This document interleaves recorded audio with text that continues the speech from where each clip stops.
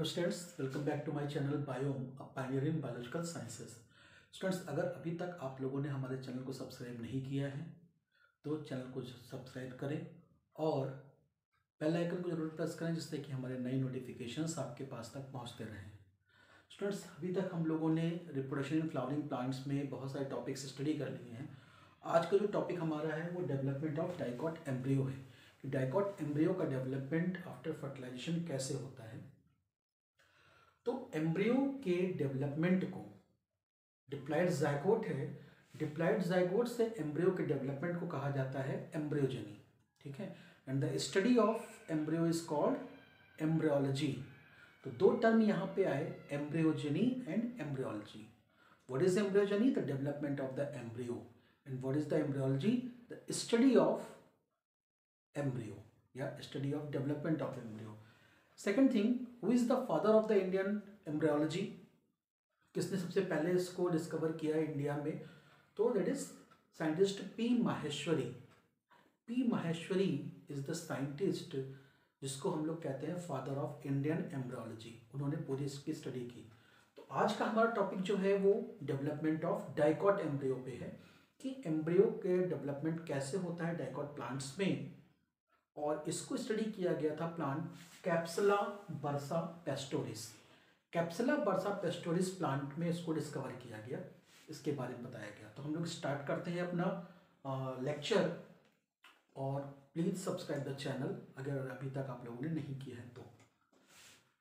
This is the diploid zygote diploid zygote कैसे form हुआ है? आपको पता होगा, हम लोगों ने बात की थी जब फर्टिलाइजेशन में first male gamete react with the egg cell first male gamete का जब एक्सेल से रिएक्शन होता है एक्सेल से फ्यूजन होता है तो डिप्लाइड जैगोट का फॉर्मेशन होता है। अब ये डिप्लाइड जैगोट आगे कैसे डेवलपमेंट करेगा स्टेप बाय स्टेप हम लोग देखते जाएँगे, उसको समझिएगा। डिप्लाइड जैगोट में एक ट्रांसफर्स डिवीज़न होगा। कैसा डिवीज़न होगा? ट्रांसवर्स डिवीज़न होगा। ट्रांसवर्स जिससे कि दो सेल्स का फॉर्मेशन हुआ। ट्रांसफर्स डिवीज़न से दो सेल्स बनी, जो ऊपर की ओर है माइक्रोपलर एंड की तरफ़ जो है, उसको कहते हैं बेसल सेल या upper epibasal upper means जो ऊपर साइड ऊपर कौन सा साइड होगा? माइक्रोपलर एंड की बात कर रहे हैं। तो माइक्रोपालर एंड की तरफ़ जो सेल होगी, वो कहलाएगी अपर इपीबेसल सेल और जो लोअर सेल है, जो नीचे है दैट इज़ हाइपोबेसल सेल तो ये माइक्रोपालर एंड पे हो गया, ये चलेजल एंड पे हो गया। अगर माइक्रोपैलर एंड चलेजल एंड आपको नहीं पता है तो हमारे प्रीवियस वीडियोस को देखें, जहाँ पे हम लोगों ने बात की थी डेवलपमेंट ऑफ़ फीमेल गेमेटोफाइट की या मेगास्पोरोजेनेसिस की, वहाँ पे आपको मिलेगा कि which part is called micropyle and which part is called chalazal and तो यहाँ पर दो रीजन्स में दो सेल्स का फॉर्मेशन हुआ है। एक को हम कहते हैं अपर इपीबेसल सेल दूसरे को कहते हैं lower hypobasal cell Next, this lower hypobasal cell is directly convert into embryonal cell. यानी कि ये जो सेल है इस सेल में डिफरेंशिएशन होगा। यानी कि थोड़ा सा स्ट्रक्चर चेंज होगा थोड़ा सा न्यूट्रिशन ये एब्जॉर्ब करोगी थिक होगी। तो ये कन्वर्ट होगी किसमें? एम्ब्रियोनल सेल में। Lower hypobasal cell directly convert into embryonal cell after the differentiation next upper epibasal में क्या होगा? इट डिवाइड ट्रांसफर्सली तो ये जो दो सेल फॉर्म हो रही हैं, वो कहाँ से बन रही है? इस वाले से upper epibasal cell divide transversely to form two cell the one is called vesicular cell other one is called suspensor cell तो यहाँ पे क्या हो गया? यहाँ पे भी तीन सेल्स हो गई हैं। कौन कौन सी? सस्पेंसर सेल लोअर साइड में एम्ब्रोनल सेल और अपर साइड में वेसिकुलर सेल फिर यहाँ पे डिवीज़न हुआ। ठीक है? एम्ब्रोनल सेल में क्या हो गया? लॉन्गिट्यूडनल डिवीज़न जैसे कि कोई ये बॉल है सपोज़ दैट दिस वन ये बॉल है, इस बॉल पे हमने क्या किया? लॉन्गिट्यूडनल डिवीज़न किया। तो कितने पार्ट हो गए? दो पार्ट हो गए। दिस इज़ टू पार्ट ठीक है? तो यहाँ पर एम्ब्रियोनल सेल में दो पार्ट हो गए, और ये सस्पेंसर सेल वेसिकुलर सेल फिर यहाँ पे एम्ब्रियोनल सेल में क्या होगा? लॉन्गिट्यूडनल डिवीज़न तो यहाँ पे क्या हुआ है? Longitudinal division L D means longitudinal division किसमें हो रहा है? एम्ब्रियोनल सेल में। फिर यहाँ पे लॉन्गिट्यूडनल डिवीज़न किसमें एम्ब्रियोनल सेल में। कैसे देखिएगा ये सेल ठीक है? इस सेल को हमने बीच से डिवाइड किया।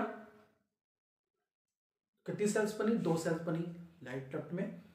और फिर जो दो सेल्स बनी उसको हमने ऐसे कर दिया। यानी हुआ लॉन्गिट्यूडनल ही है but we can say at the perpendicular of the previous one previous जो हमने लेक्चर डिवाइड किया था लॉन्गिट्यूडनल डिवीज़न पे, उसके परपेंडिकुलर में डिवीज़न हुआ। तो टोटल दो लॉन्गिट्यूडनल डिवीज़न हुए हैं। जिससे कि यहाँ पे चार सेल्स बन गई हैं। तो ये क्या हो गया? एम्ब्रियोनल क्वाड्रेंट ठीक है?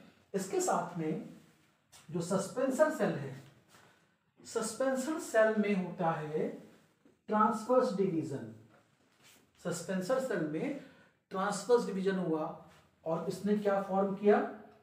Suspensor this region is called suspensor suspensor ठीक है?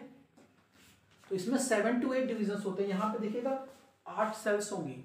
One two three four five six seven eight तो यहाँ पे एट सेल्स सस्पेंसर हैं और फोर सेल्स क्वाड्रेंट है। फिर क्या होगा? आपने देखा था, चार ऐसे हो गए थे। लॉन्गिट्यूडनल लॉन्गिट्यूडनल चार हुए, हमने बीच से डिवाइड कर दिया। अब कितने हो गए? आठ। तो देखिए, यहाँ पर एम्ब्रियोनल ऑक्टेंट हो गया। Octant means number of cells is eight quadrant means number of cells is four तो इसी एम्ब्रियोनल सेल से जो फॉर्मेशन हो रहा है, ये क्या फॉर्म हुआ? एम्ब्रियोनल ऑक्टेंट ठीक है? अब क्या होगा? अब इस एम्ब्रियोनल ऑक्टेंट में एक पेरिक्रनल डिवीज़न हो रहा है। यानी कि उसकी पेरीफेरी से डिवीज़न होगा। तो देखिए पेरीफेरी से डिवीज़न हो गया। तो जो बाहर रीजन है, उसको हम क्या कहेंगे? एम्फीथीसियम एम्फीथीसियम और जो अंदर है, वो क्या हो गया? एंडोथीसियम तो एम्ब्रियोनल ऑक्टेंट में पेरिकनल डिवीज़न हुआ, जिससे कि बाहर की लेयर्स जो पेरी पेरी में थी, वो क्या हो गई एम्फीथीसियम जो अंदर थी वो endothecium now amphithecium is converted into dermatogen layer वो डिफ्रेंशिएट कर जाएगा डर्मेटोजन लेयर बनेगा. एक चीज़ यहाँ पे देखिएगा, यहाँ पे अभी तक बात कर रहे हैं एट सेल्स की. Eight suspensor eight suspensor but जब पेरिक्रल डिवीज़न हो रहा है तो उसने क्या किया? यहाँ पे नंबर सेवन हो गए. यानी कि one suspensor is also included in the amphithecium region ये इसके अंदर आ गया, ठीक है? यहाँ पर इसको कहते हैं हाइपोफाइसिस हाइपोफाइसिस तो हाइपोफाइसिस क्या हुआ? The cell of suspensor which includes in the embryonal structure जो एम्ब्रियो के अंदर आ गया है, वो हाइपोफाइसिस है। तो यहाँ पे outermost amphithecium innermost endothecium amphithecium differentiate कर गया किसमें? डर्मेटोजन लेयर में, जो कि एपिडर्मिस फॉर्म करेगा। और एंडोथीसियम जो है, वो डिफ्रेंशिएट किसमें करेगा? ये देखिए पूरा सेलुलर मास बन गया। तो ये आपका डर्मेटोजन है। ये जो पोर्शन है दैट इज़ एंडोथीसम से फॉर्म हुआ जो बाहर की कवरिंग है, वो कहलाएगी पेरीब्लम। पेरीब्लम। और अंदर जो है, वो कहलाएगा प्लीरो। तो endothecium is differentiated into two part the one is called periblem other one is called plerome दोनों का फ़ंक्शन क्या है? पेरीब्लम से फॉर्म होगा कॉर्टेक्स और प्लीरोम से क्या फॉर्म होगा? VB vascular bundles xylem phloem तो जब भी आप कभी प्लांट का स्ट्रक्चर अगर कट कर रहे हैं, चाहे वो रूट हो, चाहे शूट हो, या डिफरेंट लीफ का पार्ट अगर हो तो सबसे बाहर क्या होती है? एंडोथीसियम सॉरी एपिडर्मिस उसके अंदर क्या आता है? कॉर्टेक्स चाहे वो हाइपोडर्मिस का पोर्शन हो, चाहे इसका हो. फिर आता है प्लेरोम वेस्कुलर बंडल्स का रीजन तो ये सब कहाँ से फॉर्म हो रहा है? यहाँ पर. तो आपने क्या देखा? दिस इज़ वेजिकुलर सेल ये तो सेम ही है, चाहे ये हो, चाहे ये हो, सब वेजिकुलर सेल्स ही हैं, ठीक है? Suspensor dermatogen layer periblem plerome यानी कि कंप्लीट एम्ब्रियो का फॉर्मेशन हो रहा है। और this embryo is finally differentiated into this structure ये जो है ये डायरेक्टली कन्वर्ट किसमें होगा? इस स्ट्रक्चर में, जिसमें कि वेसिकुलर है this is suspensor two cotyledons क्योंकि डाइकॉट प्लांट है तो यहाँ पे दो कॉटिलिडन्स होंगे, और ये रेडिकल और प्लेम्यूल रेडिकल से हमेशा रूट का फॉर्मेशन होगा प्लेम्यूल से शूट का फॉर्मेशन होगा. तो जब भी कभी आपने अगर कोई सीड देखा हो, जैसे कि ये सीड है ग्राम ले लीजिए या कोई भी है तो ये सीड है। इस सीड को जब आप ओपन करेंगे, अगर ये जर्मिनेट कर रहा है दिस इज़ टू कॉटिलिडन्स ठीक है? दो कॉटिलिडन्स हो गए। यहाँ पे ऐसे जर्मिनेशन में निकलता है ये, और ये यहाँ पे दो लीव्स होती हैं, ठीक है? तो रेडिकल से रूट का फॉर्मेशन होगा और प्लमिल से शूट का फॉर्मेशन होगा। तो फाइनल जब डायगोट का डेवलपमेंट हुआ तो ये फॉर्मेशन होगा। टू कॉन्डिडेंस का फॉर्मेशन होगा प्लिम्यूल का फॉर्मेशन होगा रेडिकल्स का फॉर्मेशन होगा। तो this is just about the development of dicot embryo almost similar monocot embryo के थ्रू होगा मोनोकॉट भी इसी के सिमिलर होगा, बस वहाँ पे क्या होगा कि ये जो दो डाइकॉटिडेंस हैं, वहाँ पे क्या होंगे, एक, क्योंकि मोनोकॉट में एक कॉटिडेंस केवल होता है। तो this is about the development of dicot embryo in the diagrammatic form आप इसी को लैंग्वेज फॉर्म में लिख सकते हैं, कहाँ से क्या इसका कन्वर्जन हो रहा है, कहाँ पे डिवीज़न कौन सा होगा, ये फॉर्म होगा।